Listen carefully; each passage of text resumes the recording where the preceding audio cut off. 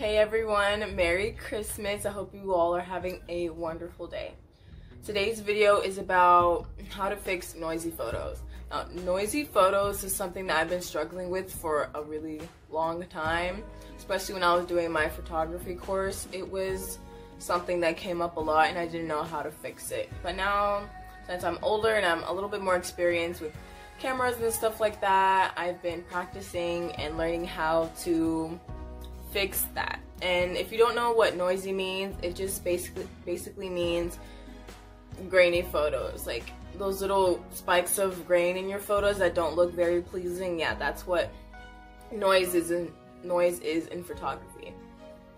That is really annoying and I'm going to show you how to fix it. So, in the video, I'm going to show you pictures of one photo without grain and one photo with grain so you can see like the difference in what I'm talking about.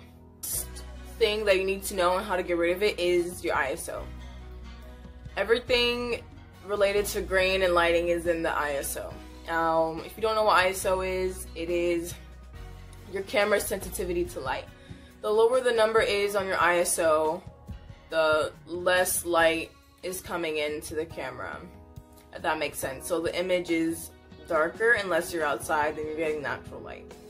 In that case, the ISO should be set to 100. But the higher the ISO number goes, the more light it's going to give to your photo. And this is an awesome thing in DSLR cameras, but it's not very awesome because when you raise up your ISO number, it also introduces grain into your photos and it's not very pleasing. And it just doesn't look very good.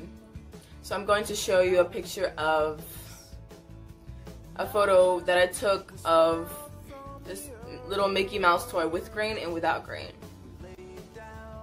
So the difference is is that when you need to raise your ISO, you were in a dark setting.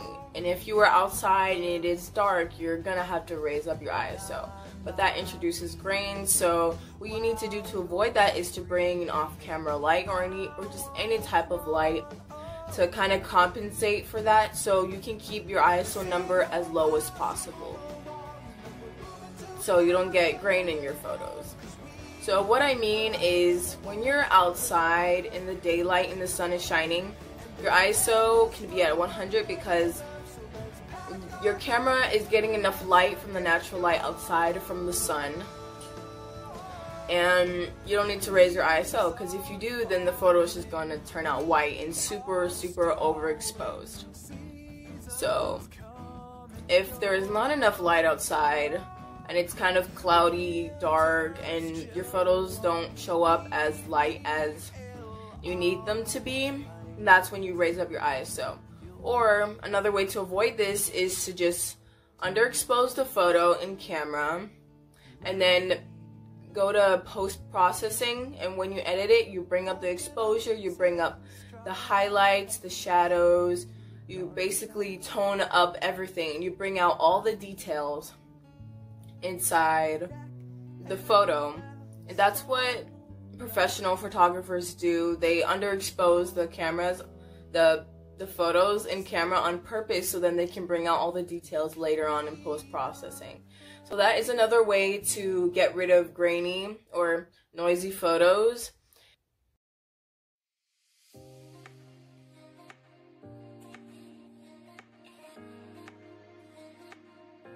Notice in the photos that I showed you of what I took pictures of, the one with the grain has less lighting because it is indoors and indoor lighting can be really really bad and therefore you have to bring up your ISO number to compensate for the lack of good lighting in indoors and that could end up resulting in more grain in your photos. If you're doing indoor photography, you need to make sure you have a good lighting setup and good lighting equipment because just using your lamps and your your ceiling fan light and stuff like that, it's just not going to cut it for the photo because cameras read a lot less than the human eye can. So whatever looks good in the real world has to look good on camera and it's not always going to turn out that way.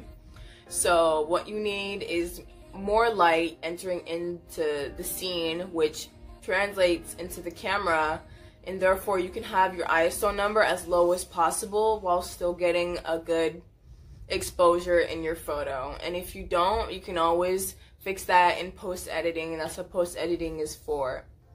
But that's what I do. And in the second photo with less grain, I had more artificial light like more artificial powerful light in the photo so I could bring down my ISO to a lower number and there would be no grain because I don't have to turn my ISO number all the way up which will introduce grain and will make the photo a lot lighter in exposure.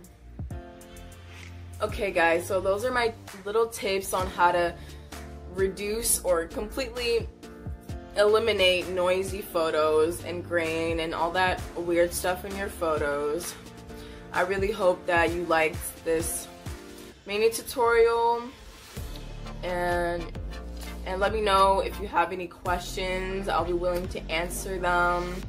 And I really hope that this was helpful. This is what I use to get rid of all the noise in my photos completely.